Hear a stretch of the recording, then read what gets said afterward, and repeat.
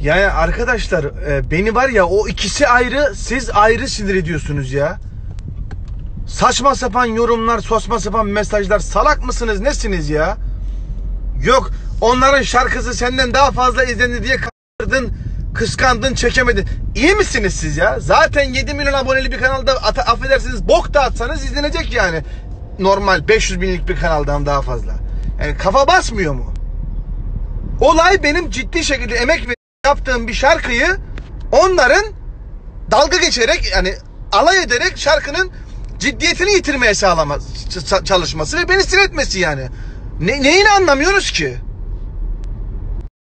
Yani bugüne kadar ben sizlerin kalbini kırmamaya çalışıyorum. Ne deseniz he demeye çalışıyorum. Çoğu zaman evet ben biraz sinirliyim ama her konuda üstüme geliyorsunuz. Ee, ne yaptılar ki bu kadar tepki gösterdin diyorsunuz.